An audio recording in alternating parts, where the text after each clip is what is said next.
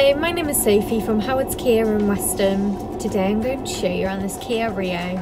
Some of its features include a sat-nav, reversing camera and sensors, heated front seats and a heated steering wheel. It also comes with DAB digital radio, Bluetooth connectivity, automatic headlights and wipers, automatic air conditioning and cruise control and speed limiter.